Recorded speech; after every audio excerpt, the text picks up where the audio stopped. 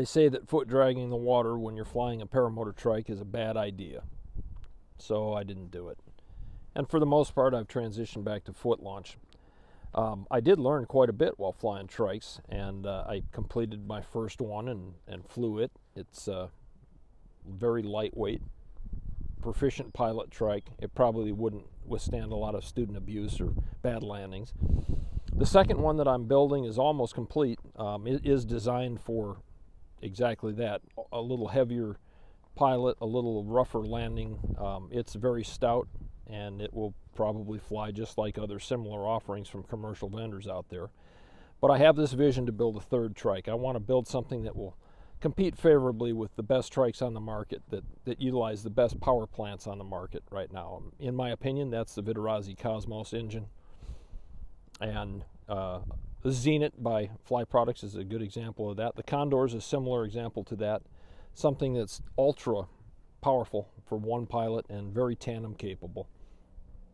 So I thought about designing this thing and either making the plans public or uh, maybe even selling it. I really don't want to run a business, and I found this project online. It's called the FOMCS, I believe, uh, motorcycle project. It's an open source project. All of the engineering files, all of the drawings are open source. You can download them and take them to a machine shop of your choosing, com commission them to build all of the parts. And this weekend, with you, if you have enough time and patience, this weekend you'll be able to bolt that motorcycle together and ride it. Um, I want to do the same thing with a paramotor. So I'm putting together a team. Right now we've got about five guys that are fairly well credentialed. Some have interest. And uh, if you'd like to join that team, please shoot me an email or get in contact with me either on Facebook or, or, or personally. I'll leave a link to my email. I'm going to leave a link to that motorcycle project so you can see what I have in mind in the comments section below.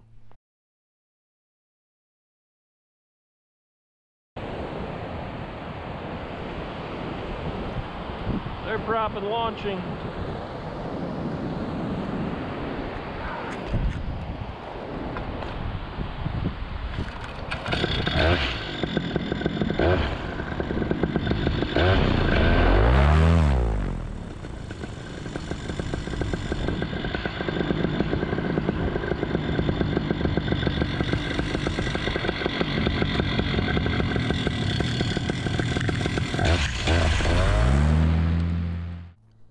The cool thing about open source projects is that lots of people can contribute their ideas and the design team can make the decision of what is the best ideas to incorporate into the trike.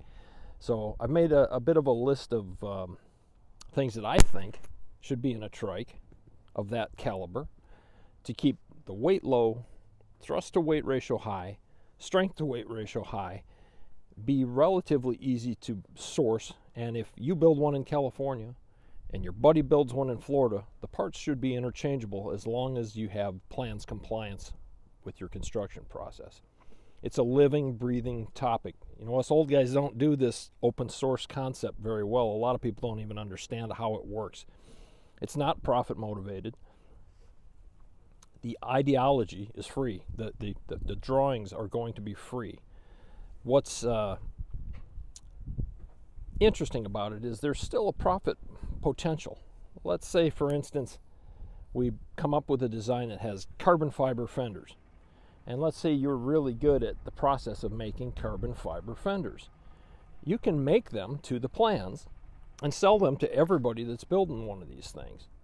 Now, they can build their own if they so choose, but their results might not be as good as what you can do in your garage. And if you are the guy that builds the best part and you want to make them available to the community, I believe that the product liability is pretty limited in this way because it's kind of like a decentralized manufacturing concept where maybe maybe it ends up being me that welds the main portion of the frame. Maybe it ends up being you that is really good at building the axle section. Maybe it's uh, a guy on Amazon who we don't even know yet who builds some of the hardware components that we incorporate into the machine.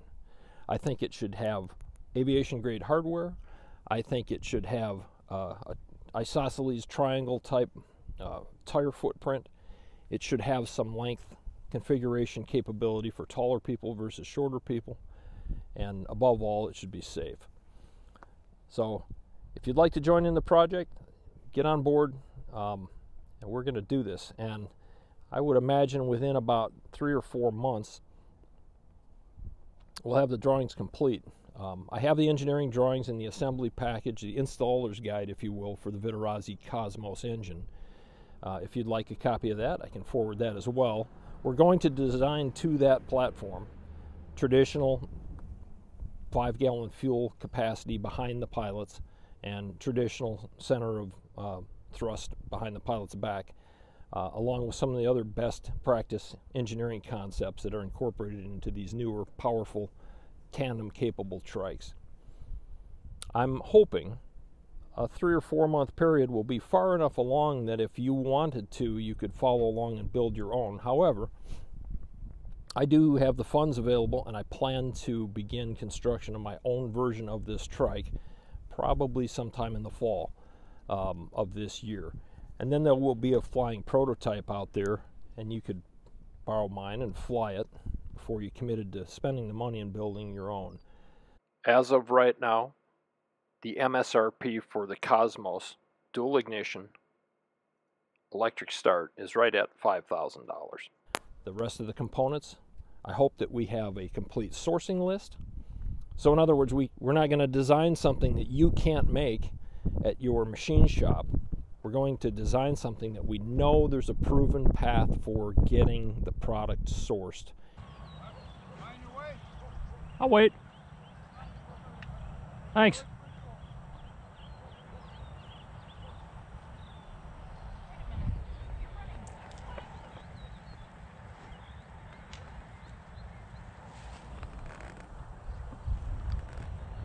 All right, clear, here we go.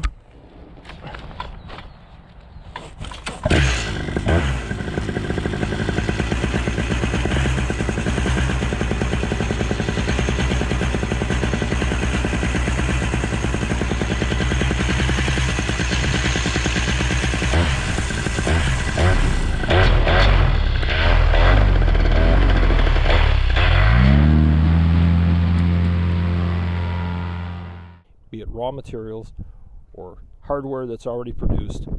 Servicing might be a little bit different. That might be something that we leave up to the individual. I mean, certainly we can specify that parts be powder coated, but if you don't have a powder coater nearby and you want to spray paint yours, you probably could. Um, well, you certainly could. It's an open source project.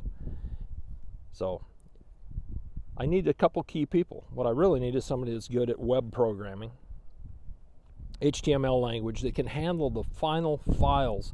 And if you look at the way that they're presented in that motorcycle project in the links below, you'll see how you can take and look at each of those components and look at them in the uh, CAD software, download them, take a look at them. And that's kind of the concept that I'd like to see with the Paramotor trike. I'm going to create a web page. As soon as that becomes available, I'll put it on with the uh, rest of the information in the comments section. I believe it's going to be called Open Source PPG Trike or OSPPG.com. So maybe you're running a paramotor school and you might view this as a threat. You know, you put a lot of time and effort into securing your product line and ensuring that you can deliver trikes and components and service parts for your paramotor students and your other customers. I'd like to encourage you to view this as a potential profit source. You know, once the product is designed, let's say, particularly if your sourcing is international, uh, these parts can be made domestically. And it's going to be designed with that idea in mind um, easier access to, to the components.